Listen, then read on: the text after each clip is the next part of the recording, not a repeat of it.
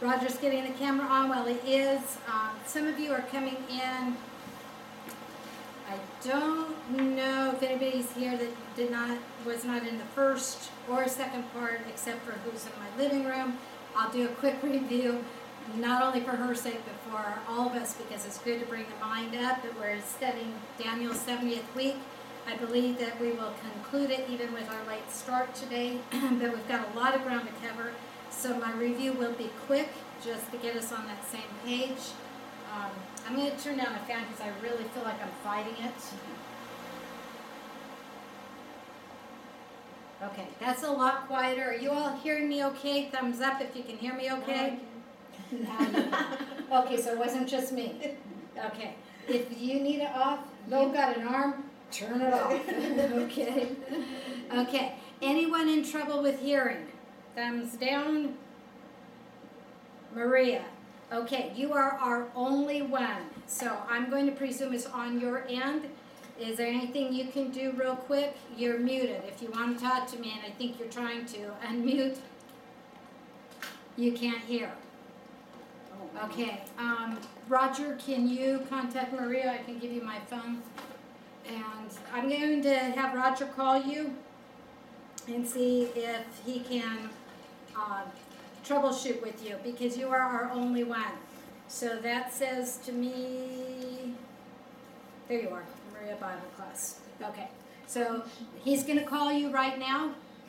I hope you're hearing that. Okay, he's going to call you. He's on my phone right now, so it'll come up with my name. And forgive us for going ahead and moving forward, but at 2:06, I feel like I have to move forward. So um, we know you can get it on YouTube later. Good, I see the connection, they're talking. Okay. Roger, is the video on? Is it recording, can you see? I see her. I see Yeah, her. but do you see it saying that it's recording us? Can you tell if we're recording on this up here? This, Gina. Is Yeah, that, I see. recording?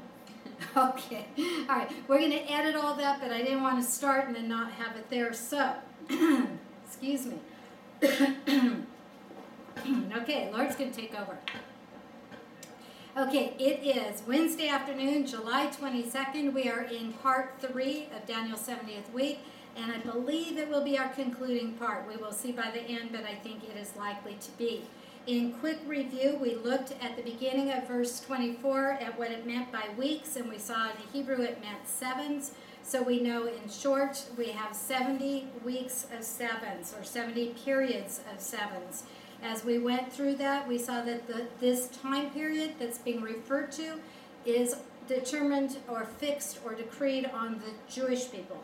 Chapter Chapter 9. oh nine. Daniel 9, yes, if I didn't say it, Daniel 9, verse 24.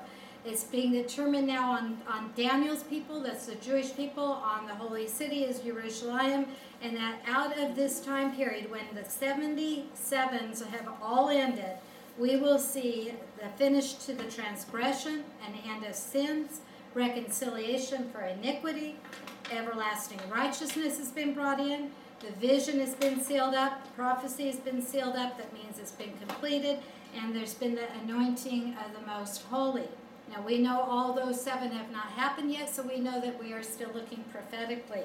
Verse 25, we saw that this time clock was going to start in relation to Jerusalem, that there was to be a decree to rebuild the temple and the city. We saw that there were four decrees in history. The fourth one was the first one that included rebuilding the city walls. Just quote coincidentally, we have that date in history also well recorded for us, apart from the Bible, telling us that was on March 14th, 445 BC. At the end of last class, I was asked about the timing, what sources, how do we know this? There's a lot of complication in trying to go into it because we took that. And let me bring you what happened from that point. At that point, from March 14, 445 BC, moving forward, we were going to have a period of seven weeks and a period of 62 weeks. Together, that's 69 weeks, so we're leaving out one period of seven weeks. We see that that actually is in relation to years. This, the 69 were years also, not 69 years, but times the seven. And so we are seeing that uh, we're talking specifically where the 62 weeks were 434 years. When we added it to the 49 weeks, which was represented by the seven week period, that we come together to a total of 483 years. Going on the Jewish calendar, the, the uh, lunar calendar, going by Jewish time reckoning, we saw that if we took 483 years, we multiplied it by the days in the Jewish years, we came out with 173,880 days.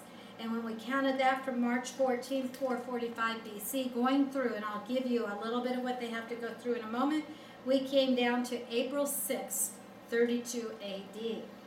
Another very specific date in history, and we know that on that date there was a triumphal entry into Jerusalem.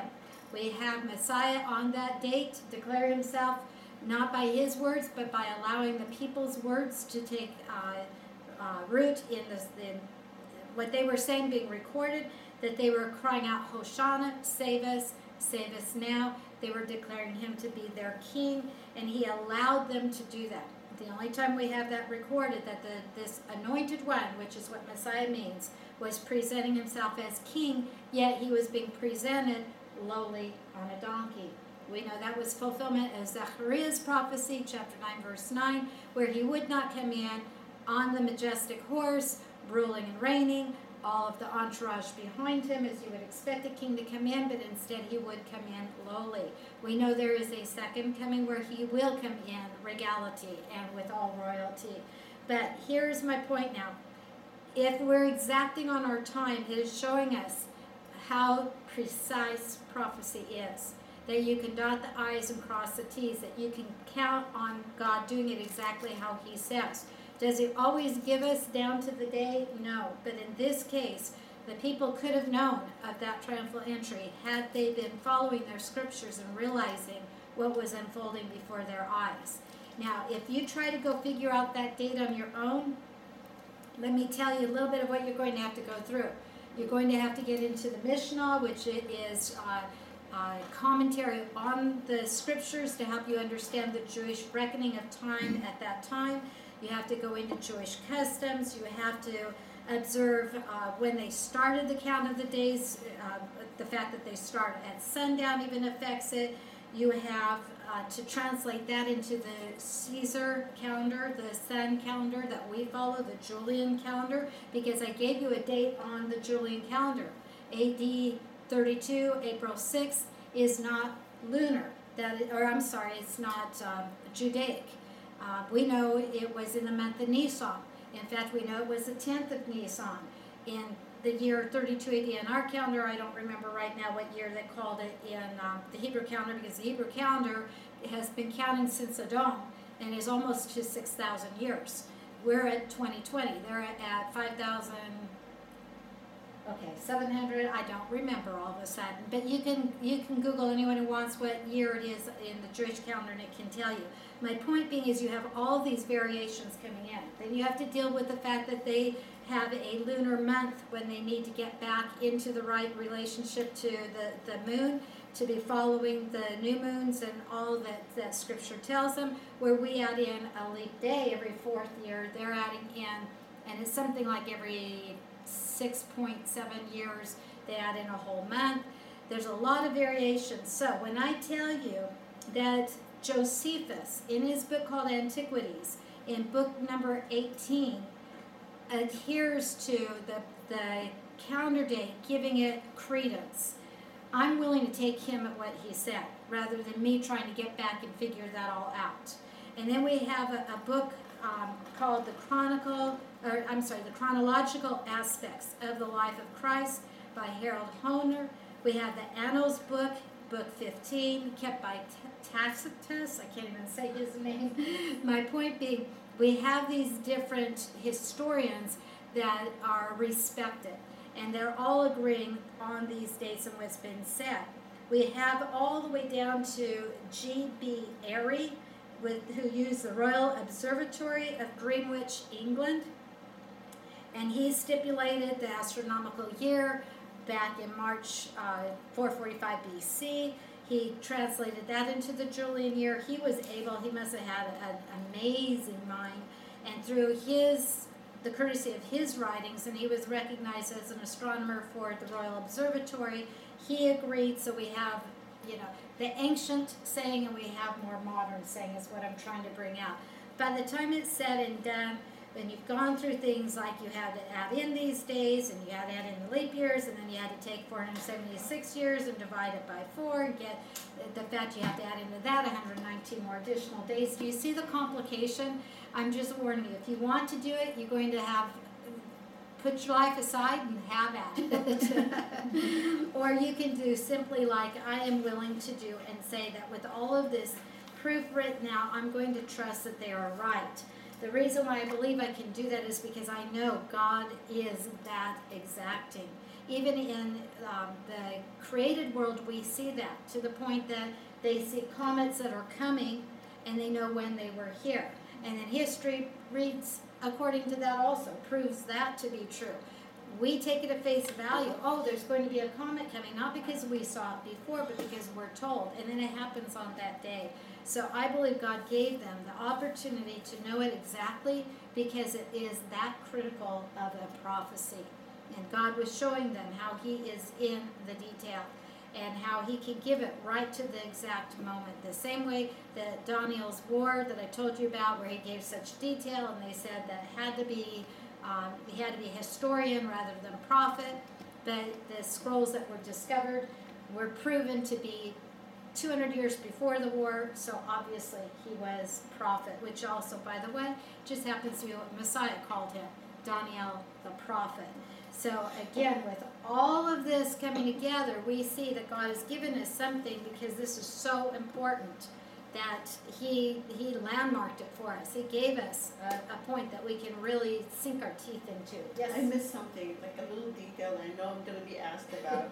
okay. Four hundred eighty-three years times the Jewish days, is that one thousand eight hundred thirty-four? Um, no, the 483 times the Jewish years in days comes out to 173,000. One thousand. 173, One seven three. comma, 880. Okay. Okay. Got it. And now if you count, and you can follow the calendar and, and then go from the Jewish calendar into the Gregorian calendar, you will go from March 14th, 445 BC to April 6th, 32 AD. Okay? So, now, that wasn't real short, but that also answers one of our questions from last week. Let me, let me bring this out because this is a question also from last week that I don't want to, to I, I want to make sure I've brought it out clearly. We are told, and we just saw this in Romans especially also, in I think it's in 11, it talks about the fullness of the Gentiles. Now, the fullness of the Gentiles is different than the times of the Gentiles. So, if you think that you're hearing, make sure you hear which word is being said. The fullness of the Gentiles is God calling out of the Gentiles a people for his name. We know that that means that, that he's calling those to salvation. We call those that, that are being called out during this time of the fullness of the Gentiles, we call it also the church age, we call it the body of Christ, the body of Messiah. Um, all of these names are synonymous for us. When that body is complete, when he the Lord has pulled out all he is going to out of that, that is when we believe in what's called the rapture. If you don't like that word, fine. The great snatching away. That's what it says in the Greek. But that's when he will call his people home. Now, does that mean there are no Jewish people in there? No. It means predominantly we're seeing the Gentiles being reached, but the Gen- the Jewish people are in there also because remember Paul said we're being sent to the Gentiles that we might provoke the Jewish people to jealousy that they will come into what they've bypassed and they'll have this for themselves also. So obviously there are Jewish people in there, but the, the thrust that we see is Gentile in its format. That again is not exclusive. The same way when God's working in his program with Israel, the Gentile could come into the commonwealth of Israel. They proselyted into Judaism, they, they took part in the sacrificial system to show their faith in the God of Israel and his coming Messiah, his coming Savior for the world. So we always have Jewish and Gentile people. There's never a time when one of the peoples cannot be saved. There just never is. God would never close the door of salvation to any who want. Amen. Yes. So, when we talk about the times of the Gentiles, we're talking more along the line of uh, Daniel's dream. I'm sorry, forgive me. He explained the dream, the vision. It was Nebuchadnezzar's dream. but I'm talking about the image. We had they had gold, and we had silver, and we had bronze, and we had iron, and then we found iron mixed with clay, and we saw it from the body. Head of gold, the shoulders for the silver, the breast was uh, the brass, um, or whatever word I gave it a minute ago. The legs were the iron, and the feet are the mixture of iron and clay. We can go from Nebuchadnezzar being gold and his kingdom Babylon being the strongest. What came up next was inferior. Silver is inferior to gold. That's why it was given silver. It's Medo-Persians, why it's shoulders, because there were two shoulders. Out of that comes Greece, but Greece was inferior to the empire that Medo-Persia had. So it's brass. Brass is inferior to um, silver. We come down through the history of time to Rome. Rome is iron, and it, it's interesting how iron was used in Roman age also. We see other uh, side effects like that too, what I'm saying, but again, that's not my study for today. I'm trying to be concise. We have the Roman Empire that ruled. It ruled for about a thousand years. We see that it finally uh, dissipated, I'm going to say, but we're going to see a revived Roman Empire, but it's not going to be as strong as the Roman Empire was, so that's why it is iron mixed with clay. Do iron and clay mix well together? No, they don't at all. They you cannot mix them. You can't stir them up and see them as one. They they the one does not adhere to the other. We're going to have individuality in these ten toes. They're going to give allegiance to the beast, but we're going to see that, that it's not as strong as it was. Now, every nation that I just listed, do you hear a Jewish nation being head of the world in anywhere in that dream? No, because it's not time for Jewish world rule. So all that are out there speaking the lie that all the money is in the hands of the Jews, the Jews own all the banks, and if you're suffering any kind of consequences, the Jews are the ones behind it. I've even heard it down to today that the Jews caused COVID and they're doing it to wipe you out if you're one who is losing because they're getting the gain from it. Now, I see you shake your heads and I appreciate that because that came out of the pit of hell. Mm-hmm. That's another satanic attack against the Jewish people because he has a vendetta against who the Lord says, I will fulfill my word, I will come back, I will raise Israel up to rule, to be the head nation over the world, and through Israel, the whole world will be blessed. Well, where's Satan in that? Is he getting the rule he wants? Is he getting the worship he wants? No, he's not. He absolutely has knocked himself out of any kind of position of rulership, and we know his end ultimately is like a fire. So if he knows that this is God's plan, what's his intent? Let me come against it. Let me stop it from happening. If Messiah is to come back to the Jewish people and I can get every Jew to be a dead Jew, who's Messiah going to come back to? I win.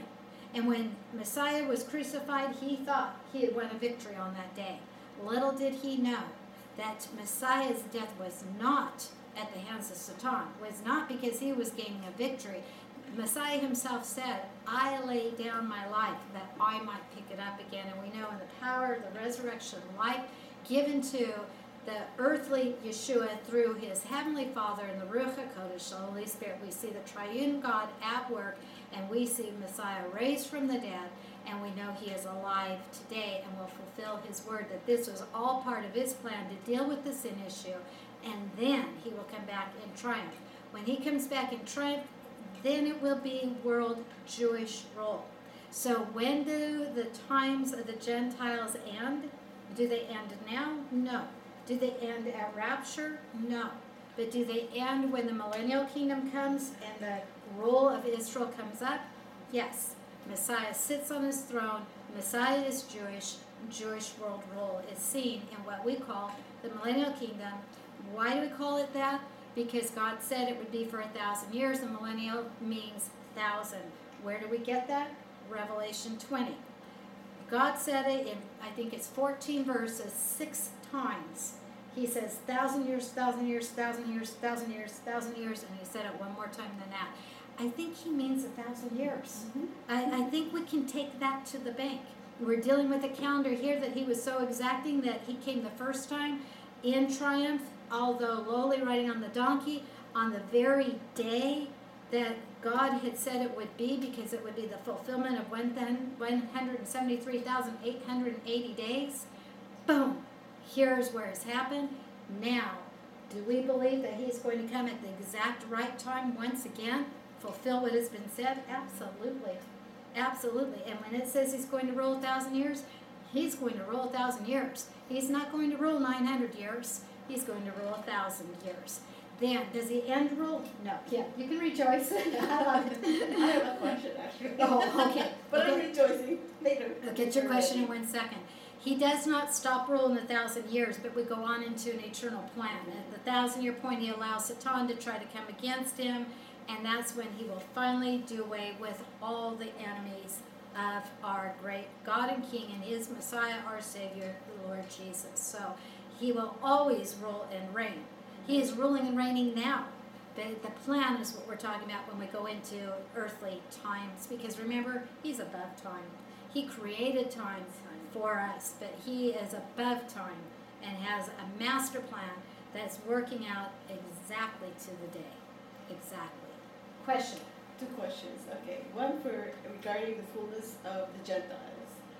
When it says fullness, um, two things come to my mind. The number of Gentiles, or is it what Saint Paul said, established in righteousness? How established are we in that righteousness? Do we believe we're righteous and we don't think about behavior anymore like we self-condemn like we do now? Because the more established we are in that righteousness, you're focused on that and less focused on behavior. Not to say that there's no fruit of the Holy Spirit. Right, right. But if it were dependent on the establishment and a process within us, I don't know when there'd ever be a time when everybody in the body was established. Because you've got new ones coming in, you've got those who need to grow, you've got those who are refusing to grow, you've got those who, even if you, you, you go, you try to help them again and again and again, they can't seem to let go of that self-incrimination. They hold on to it, I call it maybe a character flaw that, that is keeping them, somehow Satan has that, that link in there. So I don't believe it's, it's how well established we are. Um, again, also, God looks at us as already righteous. Judge righteous. Yes, yes. So, So- would that fullness in, in the original language, would that be a uh, original of some kind of a number? I'm thinking yes. She's asking the fullness in the original language. Could it be referring to a number? I'm thinking it must. That it, it would be like taking a cup and how much water can you pour in a cup before it overflows? You stop when you say the cup is full. Well, how many ounces did it take to fill it up? It depends on what size your cup is. So I do take it as a measurement. I do take it as a number. Not that there's a magic number that, that God's up there going, one, two, or like when you go into a store like Costco, you see them there with the counter and they count how many people came in every day. Not in that sense, but he has, the, we call it a body. When this body is full, you know, we'll, we'll call water a body of water, so it doesn't have to be a body this way. We know we're all part of his body. We know he's the head and we're his body and that, that every part's important, whether you're a pinky or whether you're a nose or whether you're another part. We know they're all important and they're all forming one body. So whether you want to look at it and say that that that you know there's there's parts of the body still missing because they're not saved yet, okay, or I look at it more like I say a body of water. There's a parameter. There's a, a, a great cup to fill. And when it's filled, then he takes us home. So I definitely look at it as being, um, in essence, number related. Can I ask the second question? Sure. Second question. Are you hearing her question? If not, I'll repeat it. Okay? Uh, now, this is regards to the times of the Gentiles, and you had mentioned uh, we don't have any Jewish leaders, so, you know, because it's not time yet, because of the millennial kingdom, that's when the Jewish, you know, kingdom, or Jesus. Yeah, kingdom. Jewish world leaders. Right. We've got Israel being led by Jewish people, Right. but they're not the head nation Yeah. leading the world. So we had a discussion before, I just can't remember. When it came to the Antichrist, more likely it will be a Gentile leader. And when it comes to the false prophet, well, a prophet has to be a Jewish for the Jewish people to be to be believing it, but is it a We're talking about? Or what is it? Okay, she's asking if we're not into Jewish world rule, then is that, uh, you know, are we talking then that the Antichrist is Gentile? Are we talking that the false prophet is Jewish because prophet, we think in Jewish terms of a prophet? And I'm going to say at this point, you're absolutely on the right track, but that comes up a little later in our study today. All right, sorry. So we will hold back on the Okay. fullness of that because remember last week I asked you the question. I said, if you want to go do your homework, is the Antichrist Jewish? And I said I'd answer that today. So we will get to that, um, but we'll move forward in this. Um, my review has turned into some of the study for today, so don't get discouraged and think we'll never get there. This is all part of what we were talking about last week that we have to have lead into this and we need the, the fullness of the understanding. So if I don't come out clearly with what you're questioning, please come, you know, snag me again. But what I'm trying to get across to everybody is God has a time clock. That time clock is in relation to Israel. His clock can start, his clock can stop. When Messiah was cut off, and we saw he was cut off AD um, 32, April 6th was the triumphal entry. Four days later, we have the crucifixion. It's Nisan the 14th. I know it better in my Hebrew date than my English date, but we know when, and this is verse 26, when Messiah was cut off, we saw that the Hebrew meant a violent cutoff that fits with crucifixion, and it's at that point that that clock in relation to Israel stopped. Now, do I mean that exact day? Some want to carry it and say it didn't exactly stop until that final rejection that we see when Stephen, Stephen was uh, martyred for his faith and when God raises up Shaul Paul and sends him to the Gentiles. Wherever you put it in relation, then it's in such a short period of time that it, it fits. It's not going to throw our prophecy off a year at all. So I tend to think it really came to a stop at Messiah's being cut off because of that violent cutoff. He's not being cut off um, for himself, but he has nothing. His kingdom's not there at this point, so I see it as the great pause starts right there. And it will start up again when God starts working in relation to the nation of Israel and that final prophecy, the 70th week of Daniel. So we'll look at what starts that 70th week, and that's when our clock will start again. But the start and the stop are ordained by God. It's not that his plan was derailed, it is his perfect plan, which he planned all along to bring in this body called the Gentiles, the body of Messiah, the body of Christ. He was in his intent all along was never to leave them out. But his intent also was never to turn his back on his unconditional promises to his chosen people. He has chosen them, he has ordained for a purpose, he has promises he has yet to fulfill, and he will fulfill those. So we look for the start and the stop in relation to Israel because really in our scriptures, that's how God gives us the view. You know, everything that happened historically is not contained within the Bible. We could not pick up the Bible if it had every minute of history and fact in it for all the nations and all the world. We can barely hold on to what he has given us in our study. But if you'll notice, it is in relation to Israel. Very quickly in the scriptures, he's promised the coming Messiah. That happens in chapter 3. We've got the creation 1 and 2, and by the third chapter, we've got the fall and we've got the promise of Messiah. It's specifically given as a messianic prophecy. We see him raise up Abraham, promise he's going to make him father of many nations, but he tells him that, that those who bless him will be blessed, and we know his we go down through his son and his son, we come to what is recognized as Israel. So we know it was prophetically speaking toward Israel.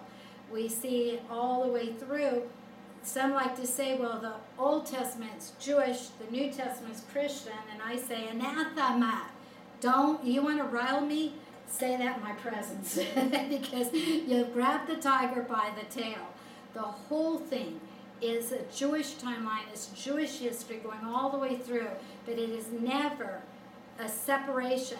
It's never that a Jewish person has to turn from being Jewish. They cannot, any more than a, a Filipino can turn from being Filipino, Korean from being Korean, uh, a Chinese from being Chinese. They are Jewish. They complete their faith. They go on into belief. Then it's Jewish Christianity, Judeo Christianity, Messianic Judaism. These are all terms that we can we can fight over the details, but in essence, they're they're uh, talking about the same thing. And as we move through the scriptures, we see what's called the new was promised in what you call the old, what I call the original, because that takes away that thought that old is antiquated, it's gone. We see much of the new based on what is in the original. We see a, a completion, a working together, the story goes on. We have all the new written by Jewish authors. We have it in relation to Israel still, and we have the final book being the revelation of Yeshua HaMashiach. Now, how much more Jewish can it get than that? so, it's it's not a, a you can separate the two. You cannot. Remember completion, not conversion. Converting is turning. If you have someone who is in the Muslim belief, they convert because they will turn their back on all the Muslim belief. Muslim belief worships Allah, that is their God. They're not going to worship that God anymore when they come into Christianity. They're going to worship the one true and living God, who, oh, by the way, just happens to be the God of Israel. So, how can you stop Jewishness when you're believing in the, the, the Jewish God who, when he took on human form, took it on in the Jewish race? You can't. It, it just it's nonsense to say differently. But a Muslim will convert. A Jewish person will complete when they come to faith in the Jewish Messiah. Okay? That was a little sidelight. Give it to you for free. Hope you like it. okay, so we have the time clock being stopped. Um, the time clock will begin again, and I guess we are, I think we talked about this last week. Um, maybe we didn't. Maybe this, I'm trying to remember. Oh, I know where we're picking up. So we did talk about this. Yes, we did. We went through this also that we have this body of, uh, of Messiah, the fullness of the Gentiles. We have it being shown to us that when it is completed, God takes us home. That's called the rapture. That's what we just talked about shortly. And when that ends, it's like that parentheses around the time that God's working in direct relation to Israel and her promises that he's given to her. Now that's when the clock starts ticking again. We saw that as we looked at the olive tree, at the moving of the original branches to graft in the Gentile. They were warned, though, don't boast against the, the, the Jewish, saying, Look at us, we're better than you, because it's not you, it's the root, it's Yeshua, Jesus. And if he cut off the, the original because they didn't have faith and weren't walking with him, how much quicker he'd do it to this that he's brought in. Well, we followed that through. We saw that the two come together. We saw that they grow together. One new man, Jewish and Gentile, in this body are uh, come to the Lord in the same way. And then we talked about how this will end when a number is brought up, when that cup is full, when that body is complete. And we go on then to see that God restores uh, his, his working in relation to Israel. Um, I lost my train of thought. Oh, I wanted to bring in. Remember the new level of grafting that I was introduced to. Can that tree go back? Can it revert to the original in its appearance?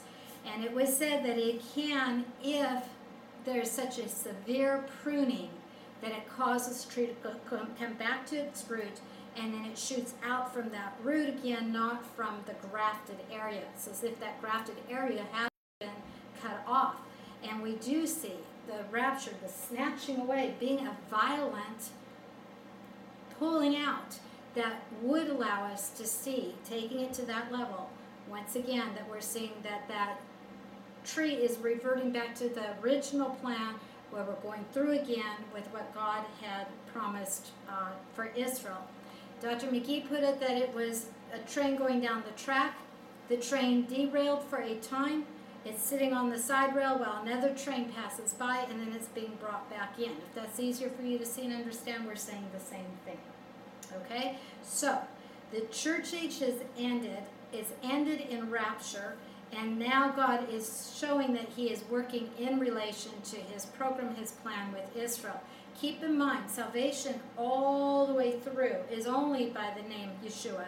One name under heaven whereby man can be saved and must be saved, and that's true from Adam to whoever the last person will be on this earth. Always true when I say that his program, his, his who he's working through and in relation to, that's where we see the change. Again, the times of the Gentiles, now it will come into the times of the Jews. So we see that change. But the question is then asked, can we get this, can we have this stop in the middle of this verse? We have Messiah being cut off, verse 26 can we say that the clock stops and starts again? Do we see other scriptures do that? Because remember, we don't want to grab one scripture and build a whole doctrine on it. We want to see in relation to other scripture. So, do we ever see a time gap given in other scriptures? well there are many, I'm going to draw your attention to just four because these four I think serve our purpose the best with what we're in relation to. So, the first one, go with me, I'm going to see if I can call up, um, okay. I'm trying to get a, a second Bible open, um, and if I do, then I can do it faster. Go with me while I'm trying to do it to Isaiah 9, 6, and 7. Okay, Isaiah 9, 6, and 7. And, oh good, it worked. So, I'm calling it up, and after this, I will be a lot faster to be right there with you. Isaiah 9, verse 6. This is a verse you're very, very familiar with. Many times, especially at the end of our year, at our Christmas time, it's quoted all over. For a child will be born to us, a son will be given to us. Remember, right there we see prophecy because the child was born. What took on the, the human flesh, that part was born. That's what was inseminated in Miriam by the Ruach HaKodesh, the Holy Spirit. The Son always existed. The Son of God always was. The Son of God in the beginning was the Word. The Word was with God. The Word was God. And we know the Word tabernacled and dwelt among them in verse 14 of John 1. That is obviously the Son who came and tabernacled with us. So the Son that was given to us, we know, speaking of Messiah. Okay? Now, we know he was born. We know he lived here on this earth. We know he died, resurrected, and ascended back into heaven. So when it says in verse 6, the same verse we're in, the government will rest on his shoulders. When did we see the government, the rule of government, rest on the shoulders of Messiah in his earthly life? No answer? Because it didn't happen. We don't see him in that role. It makes it very specific. His name is going to be called, and in the Hebrew is actually a wonder of a counselor. Now, he's wonderful and he is counselor, so I don't care which way you take it, separate the words or put them together. But he'd be a wonderful counselor. Mighty God equates him equal with God. Eternal Father tells us he came before eternity. Prince of Peace, this is the one who brings shalom. If I gave it to you in the words in our Hebrew, we have Pella Ya'utz, El Gabor, Aviad, Sar Shalom wonder of counselor, mighty God, the Father of eternity, and the Prince of Peace. All names that tell us of the deity of this one. All names speaking to who he is, that he is God. And in his earthly form, the Son and the child, we're going to see the government in this manner. Verse 7 tells us there will be no end to the increase of his government or of peace. Well, if it started, I sure don't see it increasing and I sure don't see peace, but we know it didn't even start yet, okay? On the throne of David and over his kingdom. Is there Messiah sitting on David's throne today? No.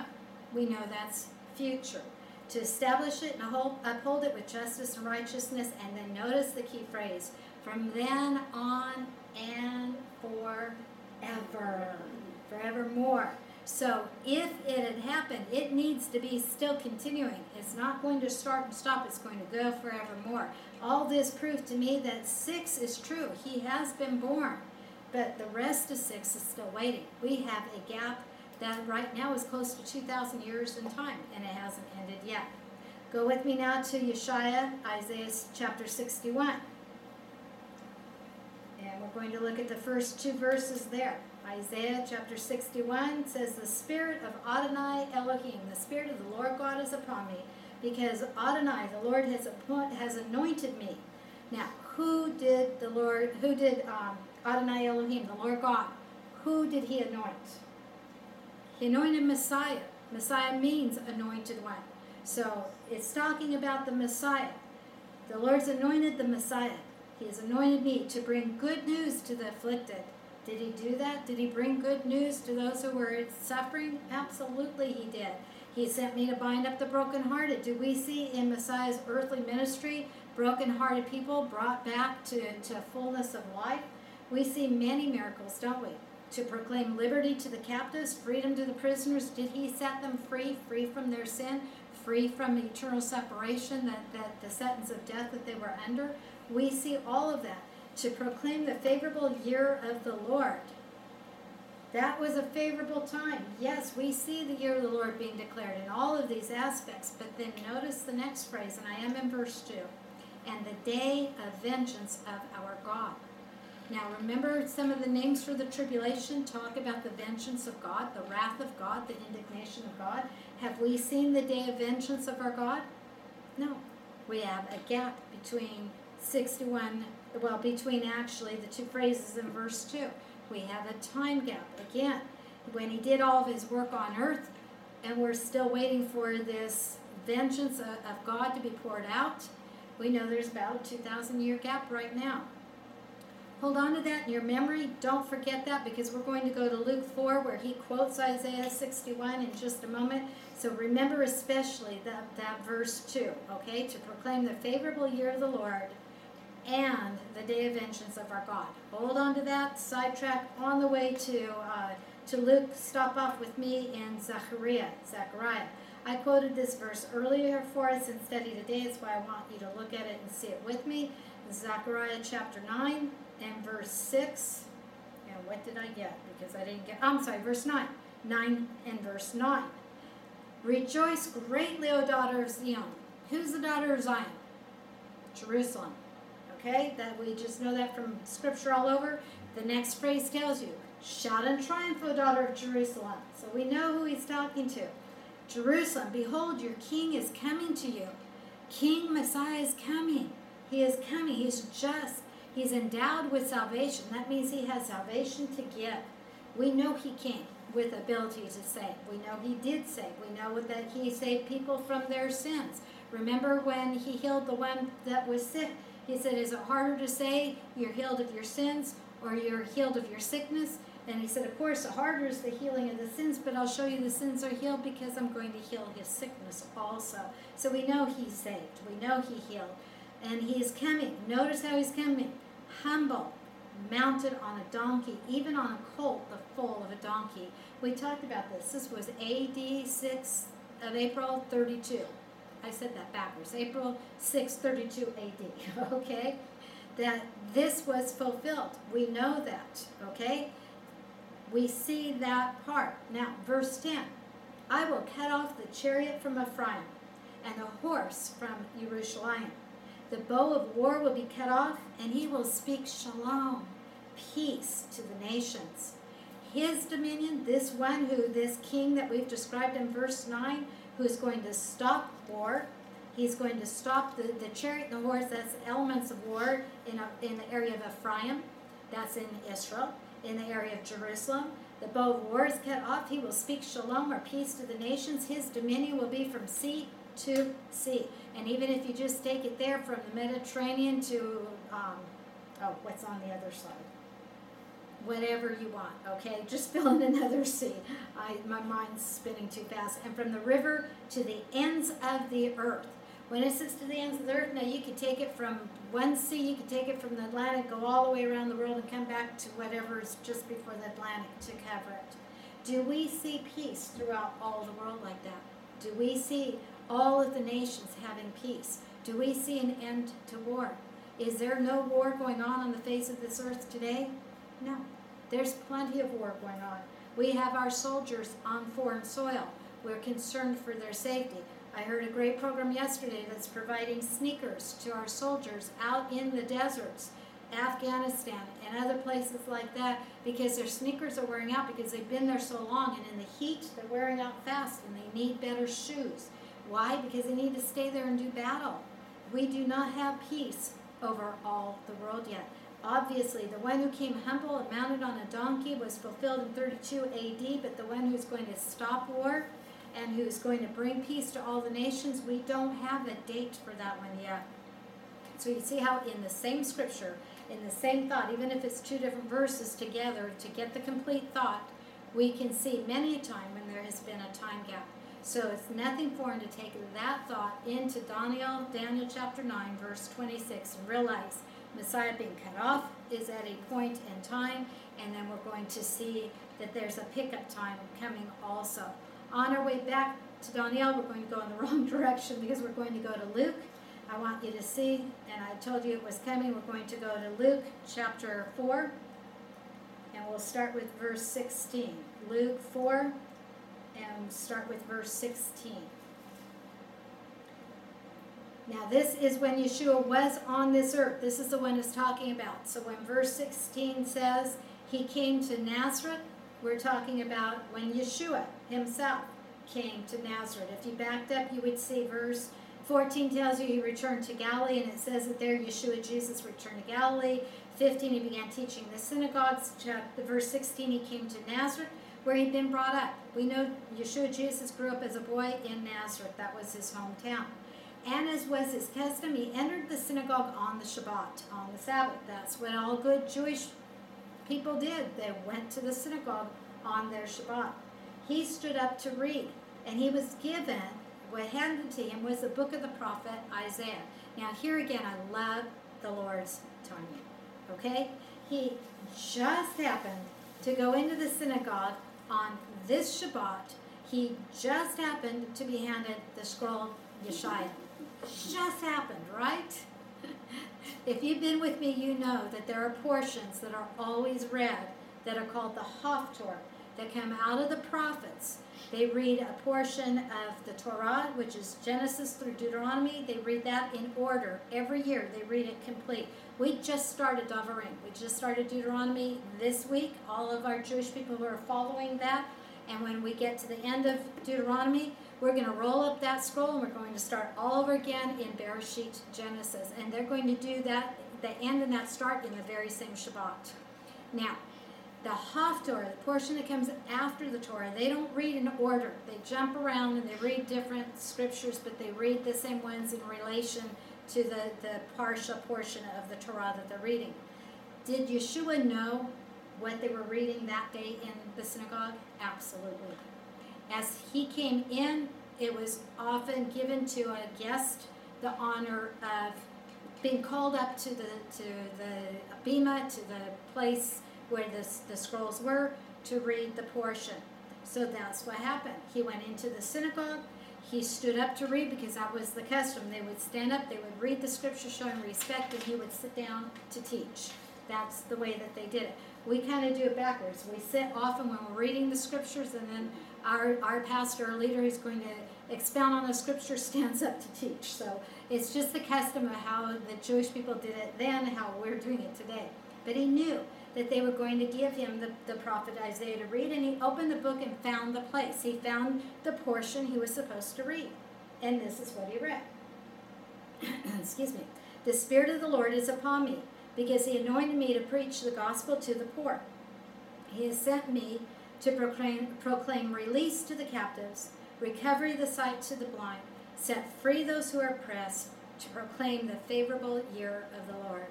Now, if we went back to the scrolls, we would have it sound like more exactly of the same words than this does, but the understanding is the same. He came to set the captives free. He came to, to bring salvation. He came to set free those who are oppressed. He came to proclaim the favorable year of the Lord. This is the year of the Lord. His work is going forth. He's bringing salvation to you. Everything sounds exactly like what I read to you in Yeshaya, Isaiah 61, and it is the portion he was reading.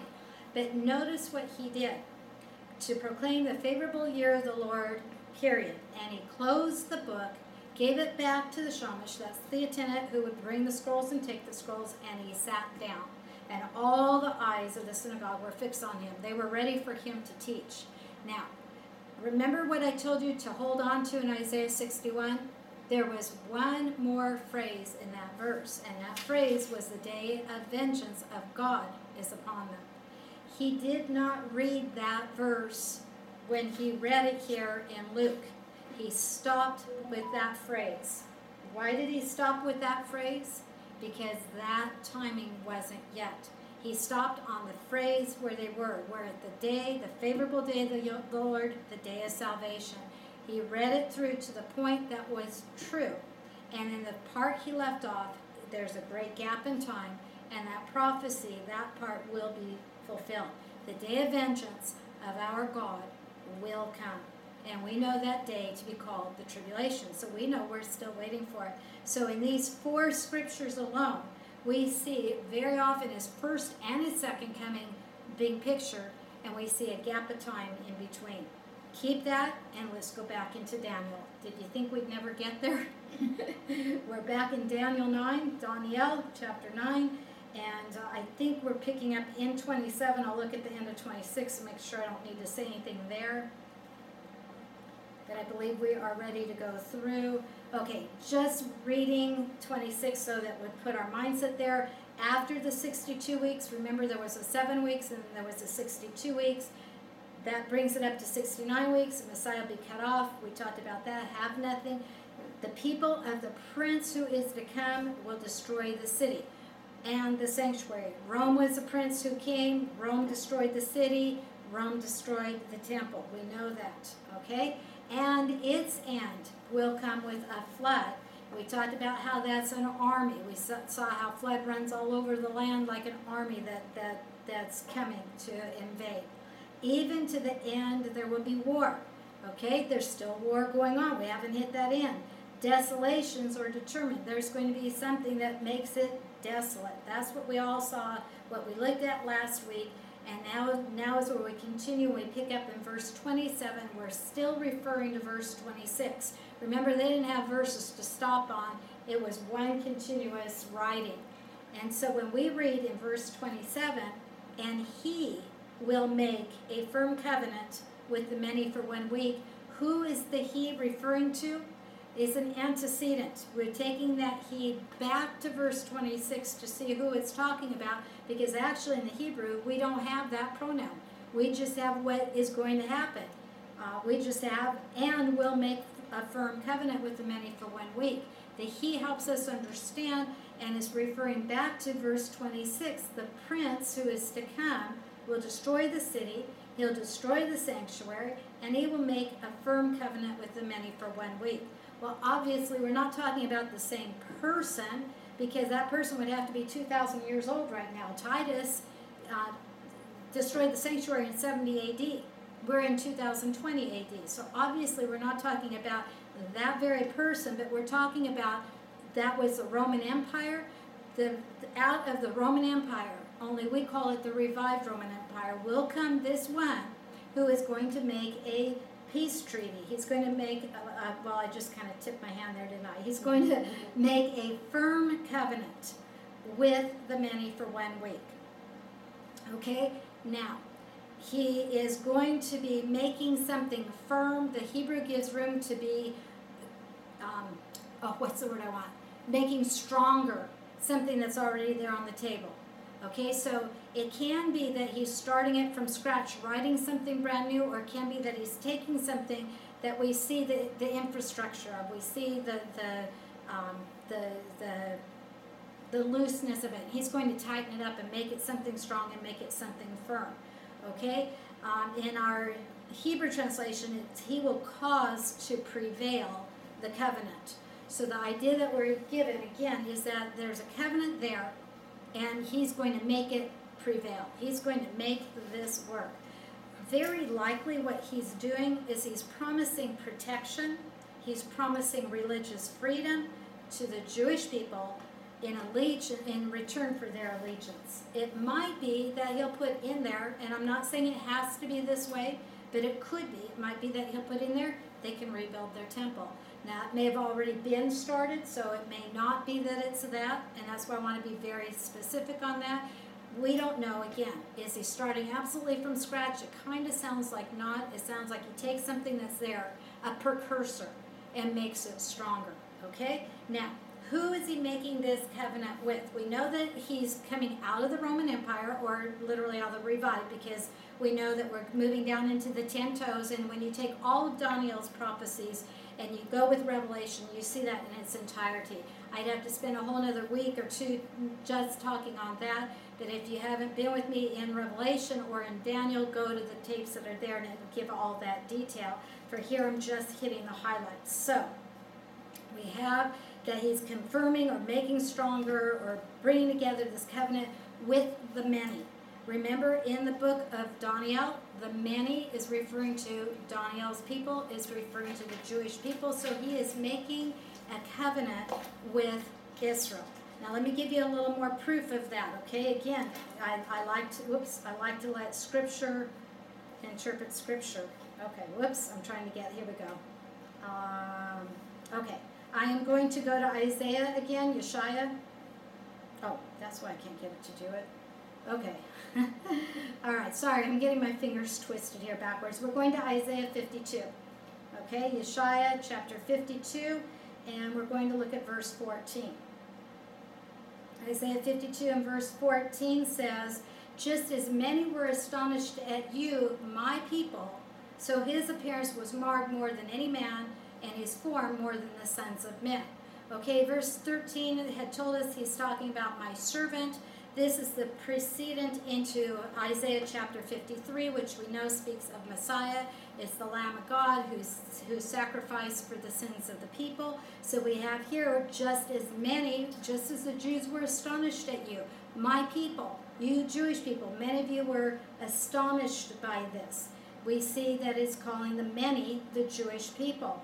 When we read in verse, I think it's 12, and I'm looking for it on chapter 53. Um, yes, yes, it is there. I had to read far enough. Okay, 53 12, Flip your page. He's gone through the crucifixion in this picture, and he has been buried with um, with the rich. We know Yeshua was buried in a rich man's tomb. Even that was fulfilled. Verse 12, I'll allot him a portion with the great or with the rich. He will divide the booty with the strong because he poured out himself to death. He's, God is saying here, he's going to be victor. This death is just temporary. This is not the end. He was numbered with the transgressors. He, he took on the sin of the world. He became the sin sacrifice for us. Yet he himself bore the sin of many. In that context, he's talking about bearing the sins of the Jewish people. Remember, this chapter is talking about the Jewish people. Um, it's talking about where he came out of. He came out of the root of Jesse. If you keep it in its context, we see that. Doesn't mean for a moment that he didn't die for the Gentiles too. He did. He took on the sin of the world. Not the sin of the Jews only, but the sin of the world. But I'm just showing you the word many again here in context is talking about the Jewish people. Let's go to Daniel again. Go back to Daniel but go this time to chapter 11. We'll come back to 9 in just a moment, but go to chapter 11 and go to verse 44. And let me tell you, chapter 11 tells us a lot about the Antichrist and his major battle that is um, very near the end of the tribulation time. Chapter 11, verse 44 only is what I want to look at for right now. It says, But rumors from the east and the north will not will disturb him They'll disturb the Antichrist. He'll go forth with great wrath to destroy and annihilate many. In Daniel's book, we know he's talking about the Jewish people. If you backed up in this chapter, you would see how all the kingdoms, the nations of the world are converging on Israel to take out Israel, to take a spoil from Israel to win that victory. So, in Isaiah, in Daniel, and other places, we have that the many is referring to the Jewish people. Keeping that in mind, go back to chapter 9 now and go back to verse 27 where we were.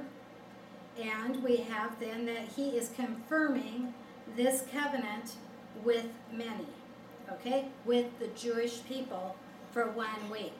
Now, it's very interesting. Daniel has given us seven weeks, and then he's given us 62 weeks. 7 plus 62 is 69 weeks. But remember, we were told 77s are determined on your people, Daniel.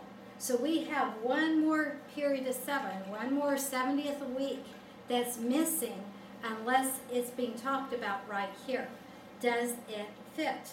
Well, he's going to confirm the covenant with the Jewish people, so it hits right on being that this is in relation to the Jewish people, and it just happens to be for one week. Ding, ding, ding, ding, ding. I think we have our 70th week of Daniel without anyone arguing that. We've got two, uh, 7, 62, and now we have our final week. As we go on, as we look at the rest of it, we will know that we're exactly right on target.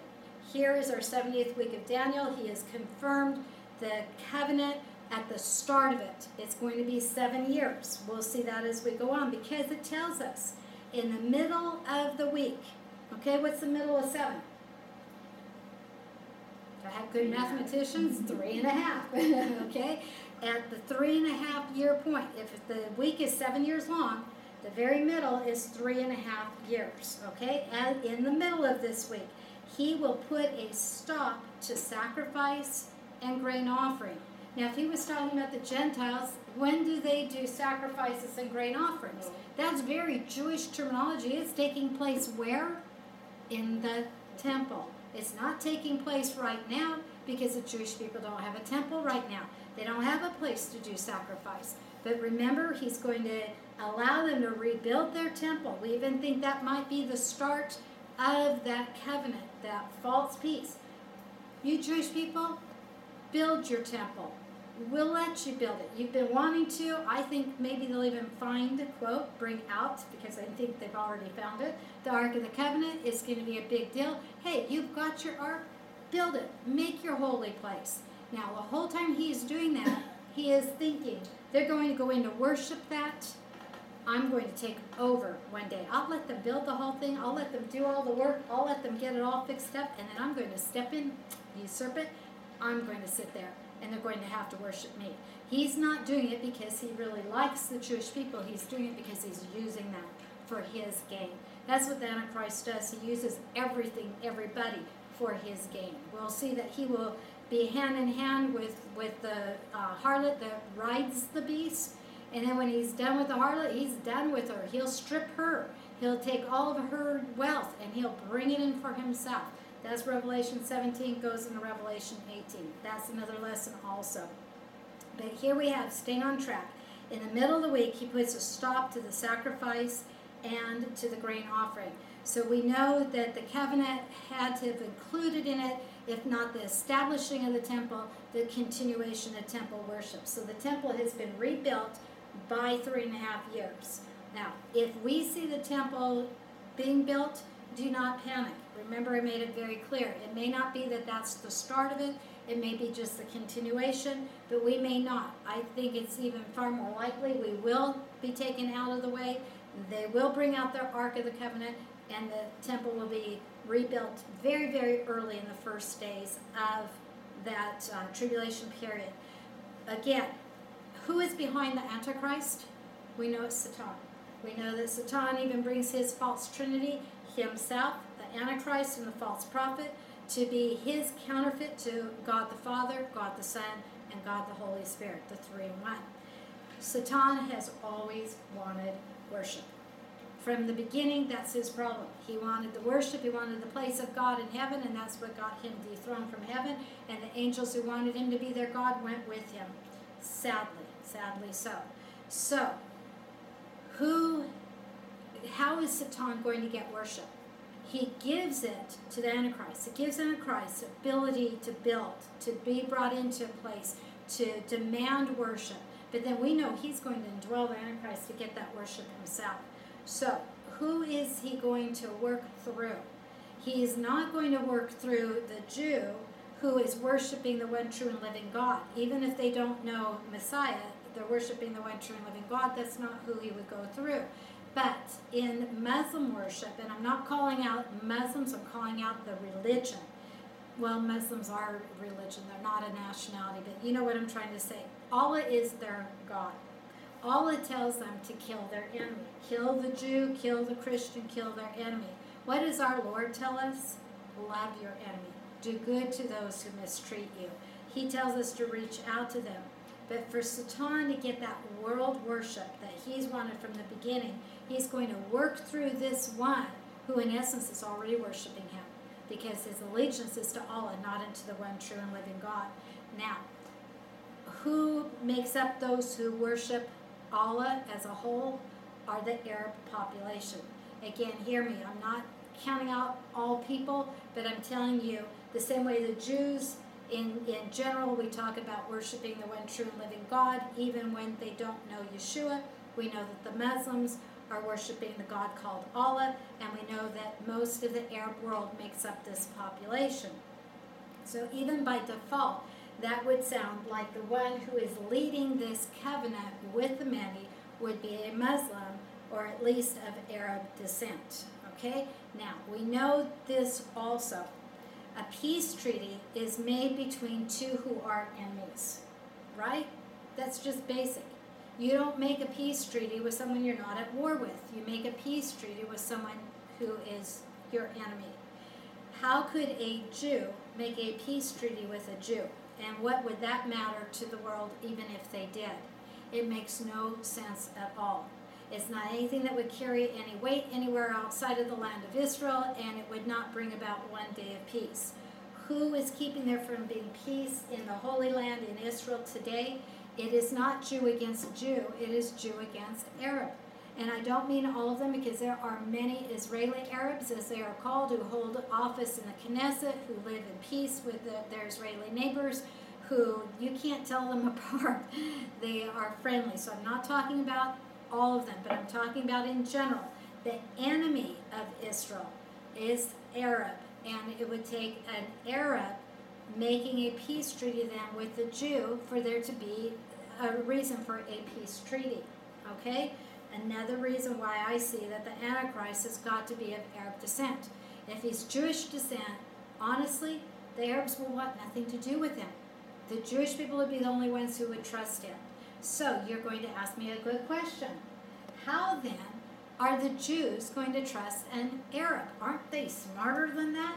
Don't they know? Doesn't Netanyahu now know that he has nobody to be a peace partner with him because they lie to him, they don't keep their word. They're taught a lie justifies the means. Do anything that you need to do to get to the end that you want.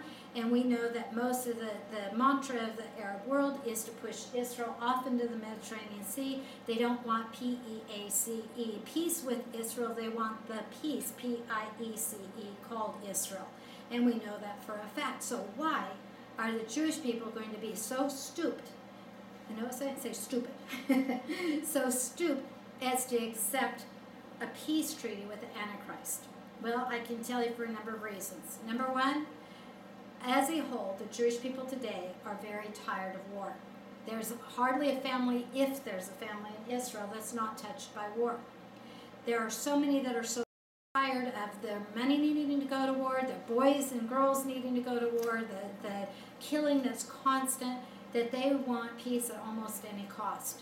That's how they gave back the Gaza Strip. Did it get them peace? Thank you very much. It got them a, a problem in their very side. But they tried and they tried and they tried again. Right now, without calling out names, we've got a political party that is um, sharing the next four years, split time. Sometimes it's, it's uh, Likud's government, and sometimes it's Labor's government that will be in the head charge position. When Likud is in there, Likud is saying we're not making, we're, we're standing strong. We're, we don't have a, a player for peace. We're not going to give back any more land. In fact, we're going to claim all of Jerusalem is ours. Then this other party comes up that's labor, and labor says, We're tired of war. You want half of Jerusalem? You want the east part of Jerusalem? You can have it. Let's just do it so that we can have peace. How they could think it'll buy them peace when it never has before is beyond me.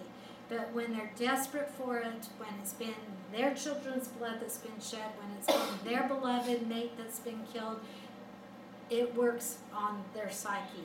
The young generation that's growing up now, that's living in the South, that has to hide in the safe room within seconds when the rocket blare goes and they get warned of those rockets day after day after day, not just once in the day, sometimes a number of times in a day, sometimes 20 times in a day.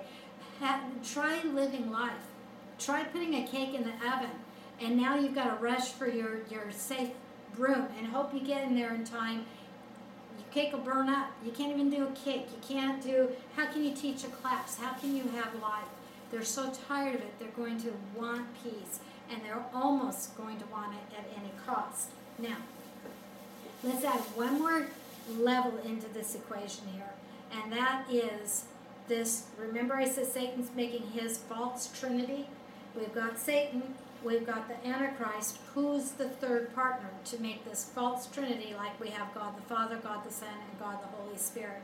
The third part is the one that goes by the title false prophet. And as was brought out earlier, prophet is a very Jewish word.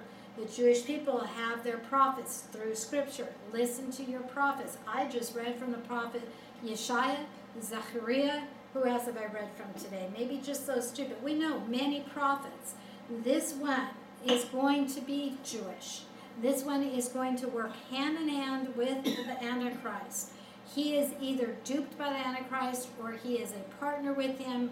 However, you want to look at it, he's going to think, hey, this is the only way to peace. That's why I see something coming up in the Labor Party as one who would be very likely to work with the Antichrist, thinking is our only chance for peace. This other way hasn't worked for all these years. Let's try this. Not realizing how foolish they're being to put their hand into the hand of one who is a chameleon, who is not showing who he is. But this one, being Jewish, working with the Antichrist, working for a time, and Antichrist makes it look good. They get to build their temple. They get to start their sacrifices. They get to go on, and it looks like they're really getting peace. He, the false prophet, will help the Jewish people. We can trust this one. This is the one we've been looking for. This is the one who really will be a partner with us. And because he's Jewish, they will listen to him. Because he's a leader in Israel, they will listen to him. And remember, the lie is sent out so strong that if it were possible, even the elect would be deceived. They're not going to see the truth. It's going to be like they've got smoke in their eyes and they see a smoke screen and they don't realize. It's the same way that you put the frog in the fire. If you put him in hot water, he jumps right out and he doesn't die. But if you put him in the pan of water and it's cold and you slowly turn up the heat, you get to fry that frog. That's what's going on. Israel's been brought in slowly and duped into it and stays there and thinks, hey, this is working. And the Antichrist will make it look good until when? We just told you. Until the middle of the week. In the middle of the week, he's got things set up enough. He's ready that if you don't have his mark, you can't buy and you can't sell. You can't do commerce. You can't live. You're going to starve to death or you're going to be beheaded or whatever. It's not going to bode well for you. He's ready for that. He puts that into action. And as I said before, no one takes that mark by accident. No one thinks that that's just, oh, well, I got to do it be, uh, like I'm buying a business license. No, they know taking that mark is pledging allegiance to the beast that is that they are saying, I am not giving myself to the one who created me. I'm not giving it myself to the Messiah or to the living God of Israel. I am pledging allegiance, pledging allegiance to the Antichrist. I am siding with him. I am joining with him. That's all what comes down here in the middle of this week. We know that from Matthew 24. We know it from Revelation. Um, 11 has the two witnesses. Uh, oh, somewhere past eleven, it comes up with the mark. Uh, might be thirteen, might be in thirteen. Anyway, we can look for the, the chapter later. So in the middle of the week, he puts a stop to the sacrifices that are taking place in the temple, the grain offerings that are being brought in. Um, and let me show you. Yeah, let me stop right there before we go to that next phrase. Let me give you a little bit more, okay? We've said he's Arab. We've said he's probably of Muslim descent. We uh, also are making it very clear Satan, Satan gives his power. Let me prove this. Revelation 13 and verse 4. So we're going to go, we're going to go there. Um, we'll see if it's got our mark in there too while, while we're in a hurry there, if I can. Uh, Revelation 13 and verse 4. And if I start with 13, we have a beast coming up out of the sea in chapter 13. A little later, when I get a chance, if I do, though we are getting short on time, um, maybe I should show you right now that the sea refers to the Gentile nations. Um, let me take that little sidetrack and let me give you some verses here that will go with that. Revelation 13 4, well, we're getting to there. We have this beast that comes up out of the sea. The beast has ten heads and uh, ten horns, seven heads. Okay, we know from the description of other places this is the kingdoms that are giving their power to the Antichrist. Remember, we have the toes. We've got ten nations. We have them all giving their power to um, the beast. So we see this. We see what that beast is like in verses two. Uh, and three, but we also see something in particular in relation to what I was just talking about and that is, I'm in the wrong, no wonder I can't find it, okay. Um, what we are seeing, and I'm sorry I sidetracked myself, what I was saying, um, oh, Satan, remember, is the one wanting worship, he has wanted it from before the, the creation of Adam, he has been looking for that, he has been trying to get that for himself, and so what we see in verse 4 shows us he's finally getting worship because it says in verse 4, 2 and 3 describing the beast, then verse 4, they worshipped the dragon because he gave his authority to the beast. We know from Revelation 12, verse 9, that the dragon is a name for Satan. It spells it all the way out. It gives several names for Satan, and it makes it very, very clear. Um, um, let me give it to you. I've got another Bible here I can open real quickly, and I'll read you Revelation 12, 9. So you can flip back if you've got the old fashioned, my tablet, I can't do it that easily. Revelation 12, 9 says, the great dragon, and that's what we just read here. They worshipped the dragon, okay? The great dragon who was cast out, it's talking about being cast out of heaven. That old serpent called the devil and Satan, who deceives the whole world, he was cast out to the earth, and his angels were cast out with him. So, no question about who the dragon in chapter 13 is. Chapter 12 identified him the devil, Satan, the one cast out of heaven and his angels with him. We know who this is. So they worshiped the dragon. Notice it didn't say that they worshiped the beast. They're worshiping the dragon because Satan is accepting that worship for himself. He's using Antichrist as his ploy to get this worship that he wanted. They, they worship the dragon because he gave his authority to the beast. How did the beast get so powerful? One world ruler, one world power, making the whole world take his mark. Stop and really think about it. Sometimes we get so used to what we read, we don't stop and think.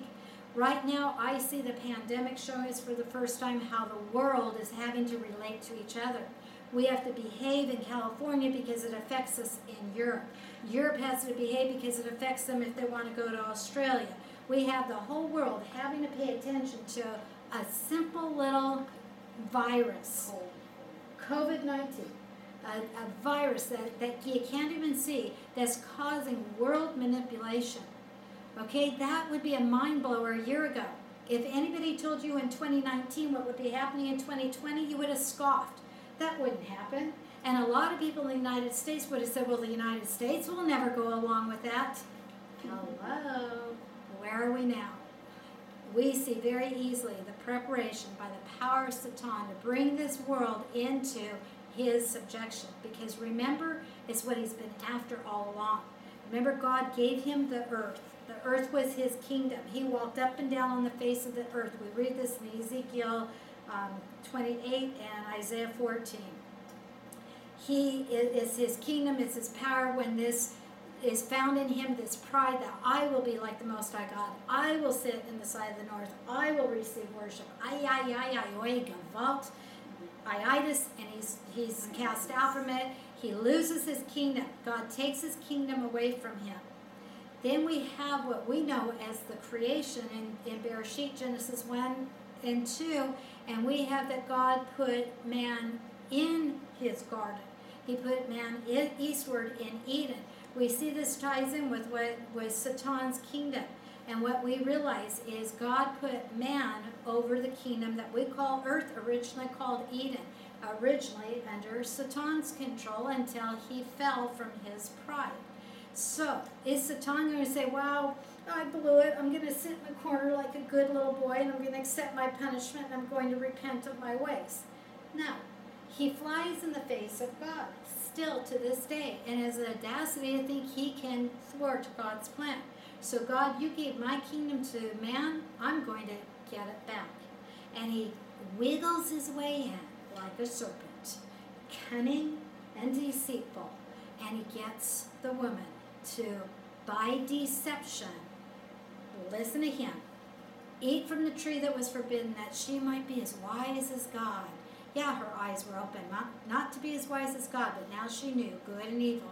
Now there was not an innocence. Now there had to be a punishment for sin, because sin has been brought into this world, and the consequences are living out to this day. And we see Adam fell with Eve, that he took it willingly where she was deceived. Satan grabbed back the title deed of the earth when he caused Adam to fall. But it's not over. He's battling to hold on to that deed. He thinks it's his, he wants it to be his, and he's trying to rule mankind, and he's going to go to all this point of uniting them under the Antichrist to receive the worship. But God still has the final word. And remember who really is holding the grant deed to the earth? Who does it belong to? Yeshua Jesus. We see it in Revelation 5, the one that appears like the lamb slain, but who is the lion of the tribe of Judah. The lion is a roaring king of the jungle. This one was able to take the deed from the hand of the Father, who is able to break open the seals. That's only done by the one who owns it. When it's broken open, those seals poured out on the earth show it is title deed to the earth, and where Yochanan cried because no one was worthy, no one was able to open the title deed, Yeshua was able to because he bought back planet earth with his blood. He redeemed mankind from the curse of sin. He broke that and brought them eternal life. Those who believe in him are the victors with him, and the earth is his to do with as he pleases. All of this scene, all of this is what's going on. But here in chapter um, 13 and verse 4, we have they worship the dragon because he gave his authority to the beast, and they worshiped the beast, saying, Who is like the beast? Who will be able to wage war with him? Well, you want the question answered to who can wage war with him? Go to chapter 19 of Revelation and see the one who comes from heaven, regal now, royal, on that white horse with a sword proceeding out of his mouth, annihilates Antichrist, puts a stop to the war of the battle of Armageddon, the mother of all wars, the battle that's going on from the north of Israel to the south of Israel. And we see him coming in several stops, finally culminated in the Mount of Olives, where he puts his feet down on the Mount of Olives It cleaves into the north to the south, the east to the west. This whole valley is opened up, and as we follow through in chapter 20, we find that this is where he sets up his kingdom in this new, huge sized valley that was made by him coming back and stopping the war. But before he makes that kingdom, he takes that Antichrist and he casts him into the lake of fire. And along with him, he goes the false prophet. They are the only two throughout all of time that we read do not stand at the great white throne judgment to be judged for their their works, their ways, and their sins. Every other man who does not accept the shed blood of Yeshua Jesus for salvation stands at the great white throne judgment. But apparently, God felt their sin so strong, so unforgivable, so obvious that He doesn't even take the time to bring them up before that judgment. He sends them cast into the lake of fire where they will be forever. When Satan joins them, is at the end of the thousand years where we see that it tells us prior to that thousand years, the Antichrist and the false prophet are cast in. A thousand years later, when Satan is cast in, it says where the beast and the false prophet are. That shows us it's not annihilation, it's not ending, it's not there until they're burned up. It goes on forever. It's eternal separation from a holy God, from a loving God, from all that is peace and good and, and glorious. And it's a place of torment and suffering forever and ever. They deserve it for deceiving mankind. They deserve it for coming up in the face of my God. But the same way, anyone who has the audacity to say to God, well, I could say myself, I was a good person. I lived a good life. They are worthy also because they are flying in the face of God and saying, Your way is not right, your way is not perfect. And they are not a friend of God. If they are not willing to bow the knee to worship God and declare Him God in their life, they are His enemy. There is no in between. We talk about an in between. We talk about being on the fence, but literally, there isn't. If their life is snuffed from them when they're on that fence that we're talking about, they have not chosen to stand with God through the shed blood of Yeshua Jesus, then they are the enemy and they are cut off forever the same way. This is serious. This is not anything to be taken lightly. The only chance to choose to be on God's side is in this life now. When you leave this earth, your eternal destination is sealed forever. You either go into the presence of eternal God forever or you go into the presence of suffering forever. Don't take it lightly. Don't think you can bargain with God. Don't think you can reason it out and come up with any excuse. Go look through the scriptures and you will find your excuse somewhere in there and that they fell short. The only way, and Yeshua said it, the only way to the Father is through me. Not me, Yeshua Jesus speaking, through him, through his shed blood on the cross, his Amen. perfect blood placed on the mercy seat for all mankind. All they have to do is accept it. That's it. Don't let pride get in your way. The same way Satan, it cost him his kingdom and it cost him his eternity. Don't let it cost you. Get to that point where you can say, you know what, I might not like the rules, God, but you made them, you made this world, you made these rules, and I don't want to be found coming up against you. Come into that place, and believe me, He'll open up your heart to love Him and to want Him, to want to worship Him, and the best is yet to be. Amen. What more can I say? Back on track because we want to be able to finish what we are saying here. Um, I'm showing you how the, the Antichrist takes over at the middle of the tribulation. It's because he has the power uh, from Satan to do this. Go with me to Matthew 24. We're only going to look at, at verse 15, so no worries. Those of you know I can stay here on Matthew 24. I won't today. I'm going to read one verse to you.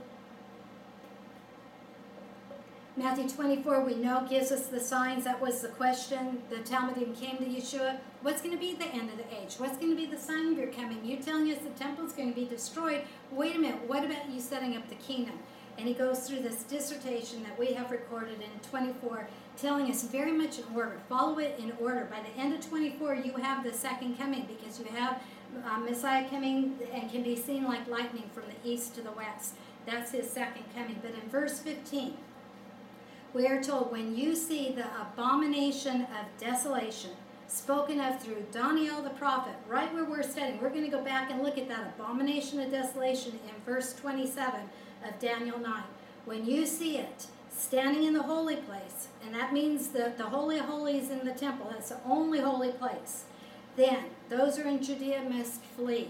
Okay, so we are being told in verse 15 there is going to be an abomination that makes desolate. Okay, desolate means if something's desolate, nobody's living there. Everybody is scattered from there. It's gone. It's desolate. Something is so abominable. This abomination is going to make it desolate.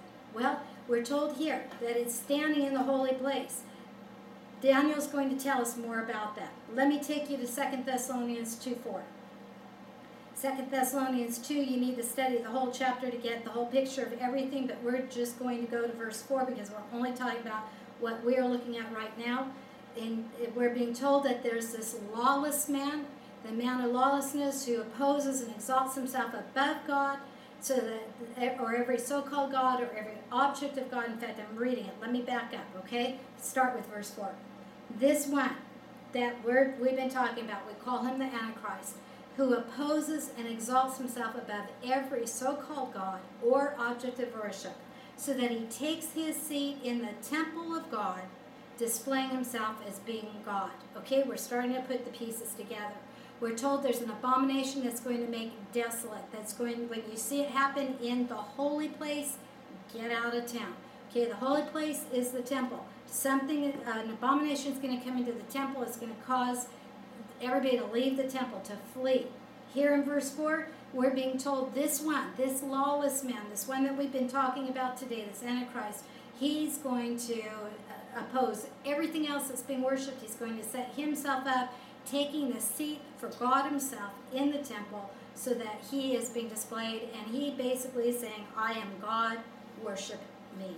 That's what's happening. I should have told you to hold on to Revelation 13. Go back there real quickly or just listen and I'll read it to you.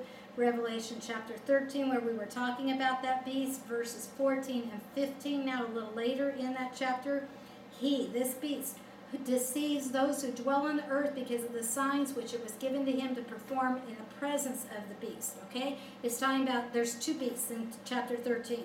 One comes out of the sea, one comes out of the land. By the way, I didn't give you the scriptures for the sea stands for Gentile nations in scripture. I'm running out of time, so um, kind of closed it. Let me see if I can give you references that we can, we'll see if we go next week or, or if you just look it up on your own. Um, I gotta find it again because I closed my, uh, here we go.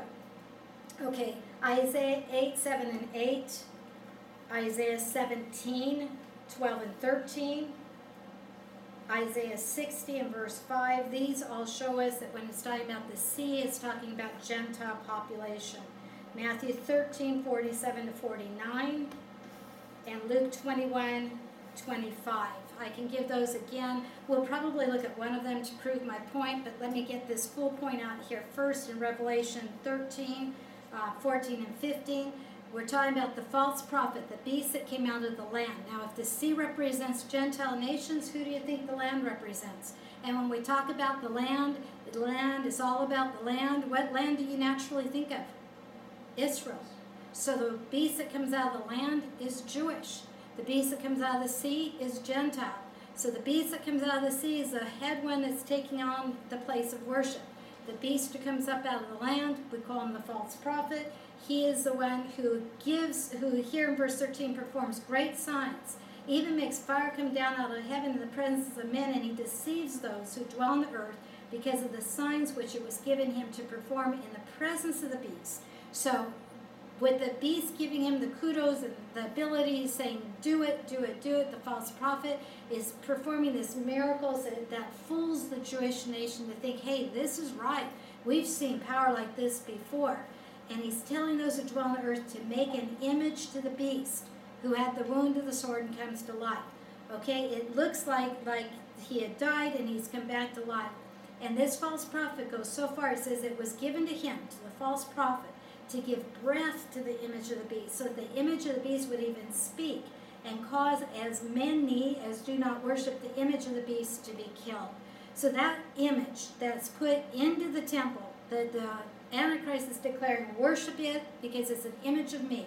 When you worship it, you're worshiping me. The false prophet is going to give that image life fake life, but he's going to make it look real. It's going to look like it can speak and it can talk, although it's just stone or whatever they choose to make it out of. This is the false prophet with power, making a false sign, a false wonder, a false miracle, so that the, they will follow along and worship this one who has set himself up to be worshipped now. Revelation 11, 1 and 2 ties in with this. In Revelation 11, we have um, two witnesses that are going to come up, but what's important is the first two verses. The first one, an angel was given a measuring rod like a staff. He was told to measure the temple of God and the altar and those who worship in it. So the attention's being drawn to the place of worship, the Holy of Holies in the temple. In verse 2 it says, Leave out the court which is outside the temple Don't measure it, for it's given to the nations. They will tread underfoot the holy city for 42 months. Okay, so there's something happening in the Holy of Holies that's changing the worship there. When you know that that's happening, at the same time, don't measure the court on the outside where the court of the Gentiles are, the court that's given to the nations, to the Gentiles, to the seas, the seas being the people, because they, the Gentiles, are going to tread the Jewish holy nation, the holy city, which we know is Jerusalem, for 42 months. Now, remember I asked you what's the middle of seven years? And you said three and a half years? How many months are three and a half years? 42 months. Ding, ding, ding, we've got the same thing. When the abomination is put in the holy place, is the same time where where we're being told here that temple in Jerusalem is going to be trodden underfoot by Gentile, by the, the Antichrist himself, to accept worship for three and a half years. Until basically the Lord comes back and stops it, gets rid of the Antichrist, really literally gets rid of his temple too. He doesn't just clean it up, he starts new, builds a glorious temple that we read in Ezekiel, Ezekiel chapter um, 40. Let me just give you um, one proof of uh, the Gentiles being represented by the, or the nations by the sea. I'm going to start with my first one and hope it built my case good on the first one. If not, we'll go to the second one. So Isaiah 8 was what I mentioned first, verses 7 and 8. We looked at this one last week, so maybe it's a good one to go to. Now, therefore, behold, the Lord is about to bring on them, on Israel, okay, for judgment the strong and abundant waters of the Euphrates, even the king of Assyria in all his glory. So God just used the river Euphrates, and like a river would run over its banks and take over. He's saying the king of Assyria in all his glory is going to do this. Well, the king of Assyria is Gentile. He's going to come and he's going to capture Jerusalem. He's going to capture Israel. He's going to capture the Jewish people. And here it talks about it being a channel, overflowing its banks, sweeping through Judah, overflowing, even comes to the neck. Remember we talked about that last week, that he won't let Israel die. He won't let her be cut off, totally destroyed. But this is like like the sea, okay? Gentiles um, being represented here because this is Israel suffering at the hands of the Gentiles because of being disobedient to their God. And if you go to the other verses, again, I'm really fighting time because I think I can tie it up if I don't stop here. So let me hit on you, since I gave you those verses, we'll come back to them at the very end if we have time. If you have any questions with them, let me know. But otherwise, let's go back to Daniel 9 real quick so that we can finish it off. And let me show you, did I get back to it? I did, okay. Um, we're talking now in the middle of the week that he puts his image into the temple now. He stops the sacrifice and the grain offering, and then we read the expression, on the wing of abominations will come one who makes desolate. Okay, remember Matthew 24, 15 said the abomination that makes desolate. The abomination of desolation is the title we give it. We're talking the same language here. So at that midpoint, when something happens to stop the sacrifices and to make this temple desolate, this is an abomination in, to the Lord, is what he's saying. So, what's an abomination in Scripture? Let me take you, we'll come right back to Daniel, but let me take you to Deuteronomy, Davarim. Go with me to Deuteronomy chapter 7. And if you don't have time to look it up, just write down the verses. Deuteronomy 7, verses 25 and 26. And I read for you there the graven images of their gods you are to burn with fire. You shall not covet the silver or the gold that is on them, nor take it for yourselves, or you'll be snared by it. It'll be a trap for you. Nor take it for yourself. Oops, I read that. For it is an abomination to the Lord your God. What's the abomination? Graven images of the gods of the people they were going to conquer. A graven image, an idol, made out of silver, made out of gold. This is an abomination to the Lord. Look at Deuteronomy chapter 29, verses 16 and 17. Deuteronomy 29, verses 16 and 17, and we read there, whoops. For you know how we lived in the land of Egypt, how we came through the midst of the nations which you passed. Moreover, You have seen their abominations. Okay, Egypt's abominations. And it goes on and says what they are. They're idols of wood, stone, silver, and gold, which they had with them. So here it's very clear an abomination to the Lord is an idol that is being worshipped. No matter what it's made out of, it is an idol. Anything that you make, we can make idols out of anything today. But in Scripture, what it's talking about is idolatry in worship. Keep that in mind. Go back on your way toward Daniel 9, but we're going to go just past it to Daniel chapter 11 again. Daniel um, 11 and verse 31. And in Daniel chapter 11 and verse 31, we read, Forces from him will arise. Now, if I backed up, we've got the point appointed time when all the nations are coming together. The one who is heading this is, or the one that they're coming at, you know, is the Antichrist. So, forces from the Antichrist will arise, desecrate the sanctuary, sanctuary fortress. We know he has desecrated the temple. Do away with the regular sacrifice. We already read that the Antichrist was going to do this. And then here's the phrase and they will set up the abomination of desolation. Remember, the false prophet's going to help them worship the Antichrist. He's going to make that image, that idol in the temple, look like it's alive. They're going to wonder, wow, that's it's alive. We need to worship it, and they will bow and worship it. Daniel chapter 12, the very next chapter, and then we'll go back to 9, Daniel chapter 12 and verse 11. We have here also from the time that the regular sacrifice is abolished, that's that midpoint, and the abomination of desolation is set up, the image to be worshipped, the idol to be worshipped. From the, from the time of that, the regular sacrifice being abolished and the abomination set up, there will be, and this time it gives it to us in days, 1290 days. Now, how many months is 1290 days? 42 months. How many years is 42 months? Three and a half years. Do we have the same thing just given to us in a different phrase? Absolutely. So we know now, back in chapter 9, back in chapter 9, when we read that there is something that comes into this temple in the middle of the week, um, stops the sacrifices, and on the wing of abominations will come one who makes it desolate. One who is going to make it, your scripture might even say, it's going to make the temple desolate. What is this abomination? The idol of the Antichrist being put in there to be worshipped. And it's going to happen that it will make the temple desolate. The, the Orthodox Jews will not go there and worship. They're not going to worship the image. They want to worship God, not the image. So they're going to have to flee the believers are going to flee also because they know what's happening. And it says, from that point, this one makes that desolate, even until a complete destruction. Or you may have even until a determined or a decree.